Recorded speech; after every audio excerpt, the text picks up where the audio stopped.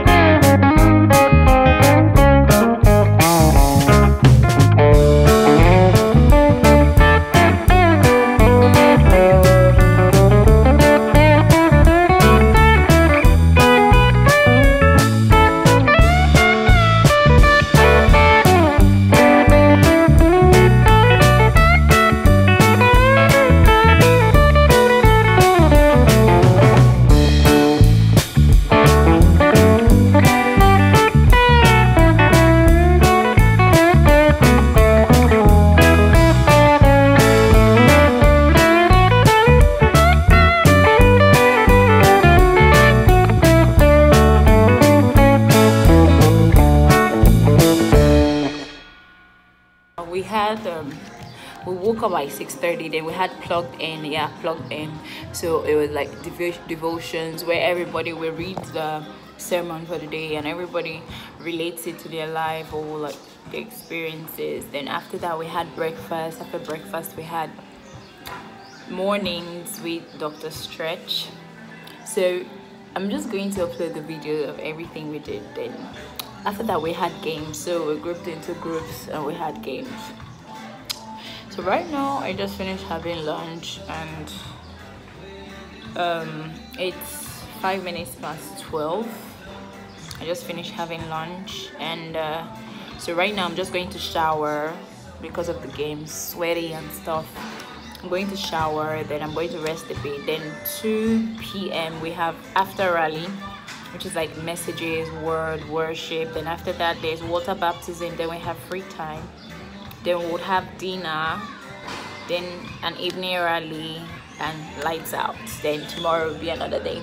So guys i'm so excited. I cannot even like tell you how much last night was. I have never ever really really really like for a long time cried in the presence of god like genuinely.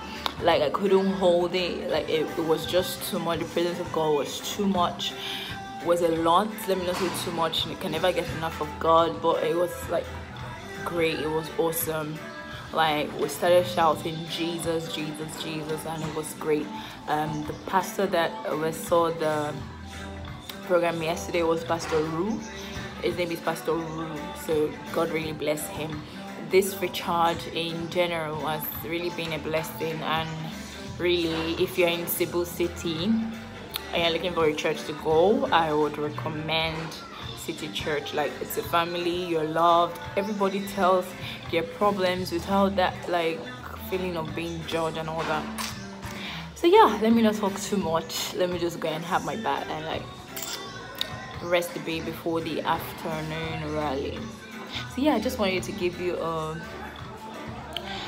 like a follow-up. So yeah bye. Bye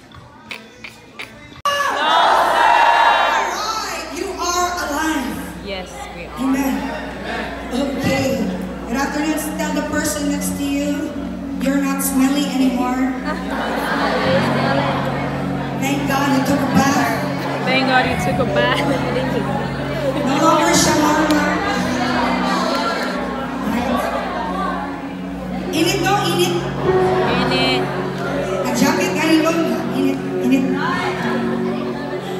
Anyway, um, let me just share to you quickly this afternoon, a very, very short one. Um,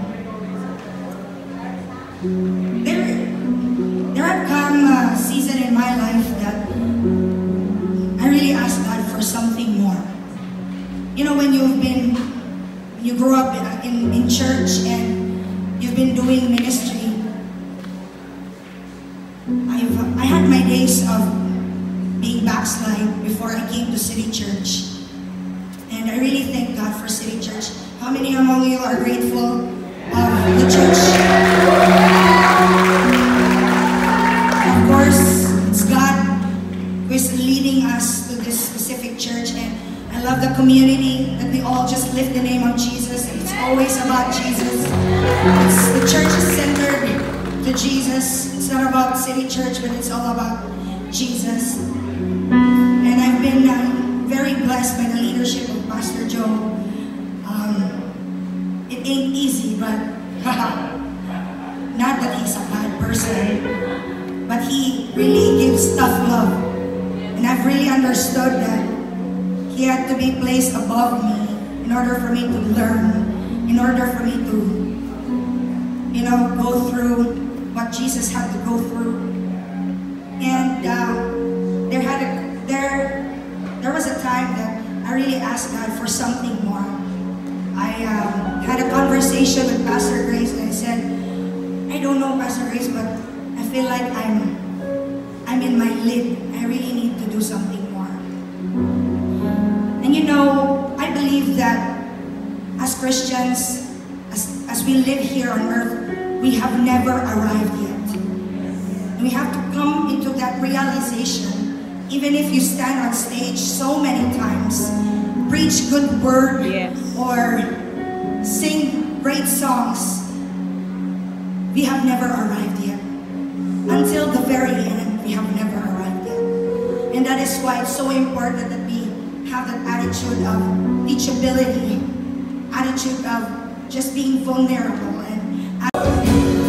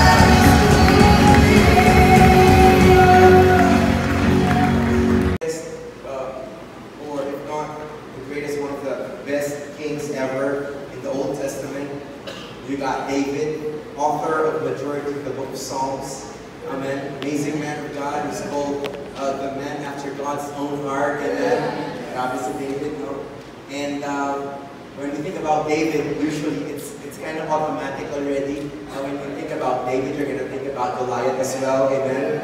Um, and so we're going to go back to that story, familiar story, and I pray that um, the Lord will speak to us through this text once again. 1 Samuel uh, chapter 17. Before I read to you the text, I'm going to give you the context. Amen. So for those of you, you know the story already, but uh, just to put everybody on the same page, we're going to go through the context. Bible tells us that one time there was uh, there was an army, a Philistine army. Amen. You know the story, right? Amen. So there was a Philistine army, and they were up against the, the, the Israelite camp. Um, and the Bible tells us that the two camps agreed. Sabi nila, let's not kill each other. Uh, what we're gonna do is we're gonna like send forth the, the best man in each camp, and then the best men fight each other out. Uh, uh, you know that story, amen. And then what happens was, what happened was, um, the the the uh, uh, the Philistine camp sent forward this Goliath, this giant named Goliath. Amen. It's time for baptism. Those who gave their life to Christ yesterday and those who haven't baptized.